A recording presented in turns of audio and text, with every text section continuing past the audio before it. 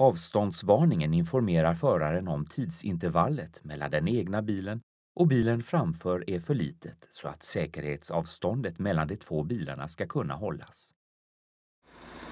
Funktionen kan aktiveras separat utan att den adaptiva farthållaren används. Avståndsvarningen kan aktiveras från multifunktionsdisplayen.